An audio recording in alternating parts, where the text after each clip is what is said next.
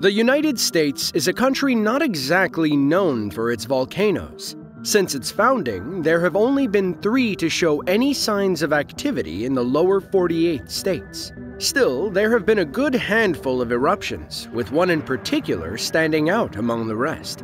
This is the story of the 1980 eruption of Mount St. Helens, the largest in all of United States history.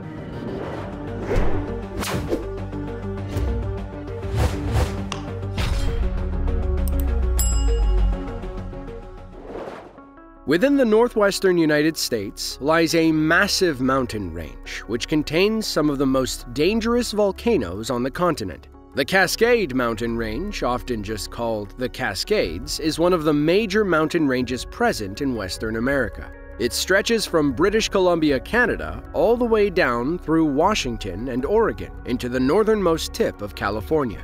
It includes both volcanic and non-volcanic mountains, with those being separated into different categories. The Cascade Mountains are a part of what's known as the Pacific Ring of Fire, a region around much of the Pacific Ocean where many volcanic eruptions and earthquakes occur. In fact, the four largest eruptions on Earth in the last 11,000 plus years have all occurred in this ring.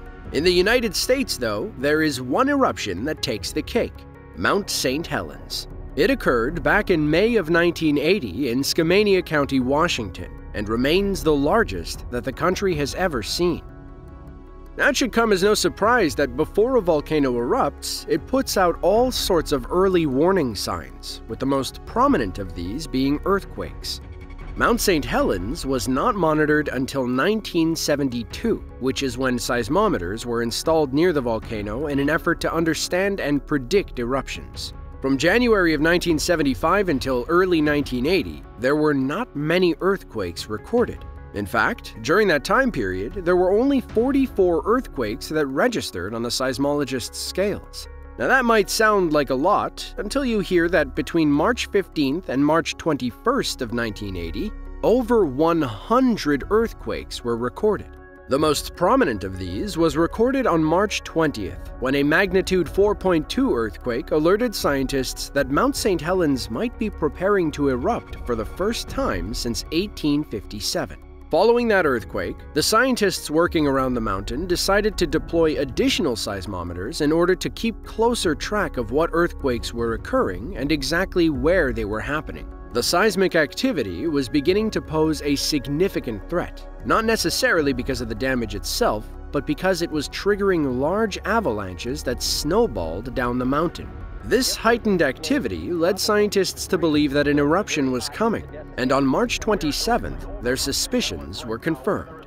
A series of phreatic eruptions, which occur when water underground is superheated into steam by magma, were recorded, which effectively meant that a major eruption was all but guaranteed. On May 18th of 1980, everything finally came to a head. Of the 10,000 earthquakes that had occurred up until this point, at 8:32 a.m. on May 18th, the strongest one hit, a magnitude 5.1. This caused the entire bulging north face to break off and slide away. This landslide still remains as the largest in recorded history. This resulted in a rapid depressurization within the volcano and the eruption that scientists feared. A sudden burst of lava and rock shot out of the volcano 200 meters into the sky and down the side of the mountain that had just collapsed. As the volcano erupted, snow, ice, and even several entire glaciers were melted along the side of it, which just exacerbated the landslide problem. The water mixed in with dirt and debris, causing lahars to reach 50 miles to the southwest of the volcano. Several less severe outbursts continued into the next day, but this single eruption is the one that caused a majority of the damage. The total thermal energy released during the blast was in excess of 24 megatons of TNT. That is equivalent to 1,600 times the energy released by the atomic bomb dropped on Hiroshima. The ash column emerging from the mountain rose up and up into the sky to a height of 12 miles. This spread out into a mushroom cloud over the span of 10 minutes, and then remained spreading tephra, or volcanic debris, for 10 straight hours. The direct blast zone, or the innermost area affected by the eruption, was 8 miles in radius.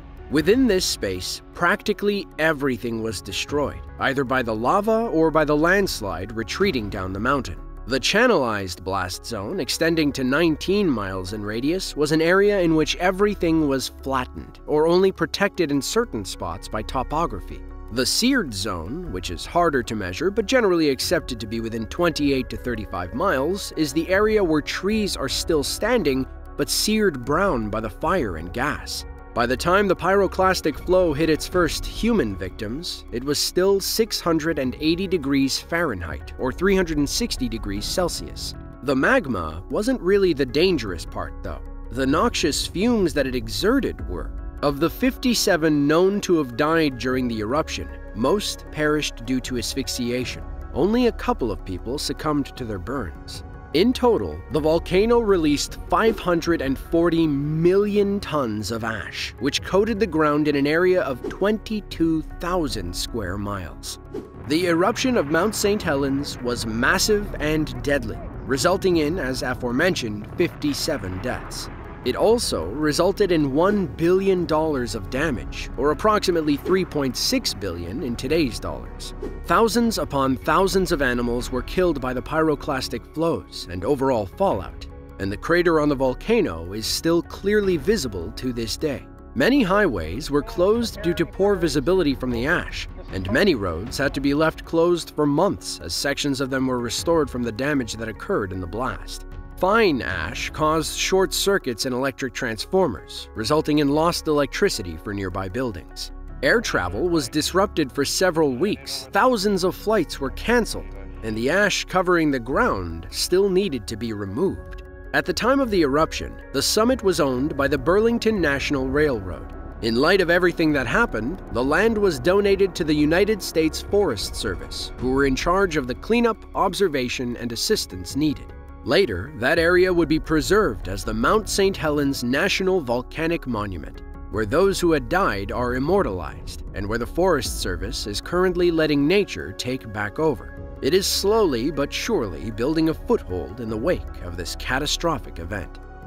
As of today, Mount St. Helens seems to have calmed back down. That doesn't mean, however, that it's done. It had a brief period of activity between 2004 and 2008, when new lava domes began forming near the summit. Fortunately, steam was able to escape through them. Since then, new lava hasn't been observed emerging from the volcano. Now, this volcanic eruption didn't result in a great many deaths, and the reason is that volcanoes have shaped civilization next to it for thousands of years. These mountains have always been unsafe to build so close to, and because of that, the damage was much lower than it would have been in, say, a more urban location. The eruption of Mount St. Helens was a historic event for the world, and one that will likely never be forgotten, especially for the western United States. Most of the damage caused by the eruption is still apparent to this day, and so many lives were affected by this catastrophe. To see another video of ours just like this one, then be sure to click the link on screen now. With that said, thanks for watching and be sure to tune in next time.